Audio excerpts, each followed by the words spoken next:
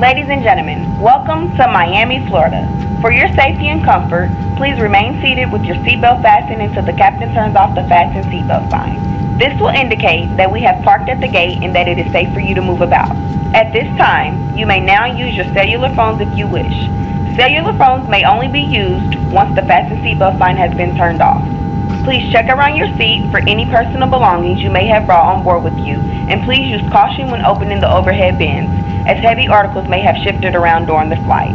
If you require deplaning assistance, please remain in your seat until all other passengers have deplaned. One of our crew members will then be pleased to assist you. On behalf of United Airwaves and the entire First Flight crew, I'd like to thank you for joining us on this trip and we are looking forward to seeing you on board again in the near future.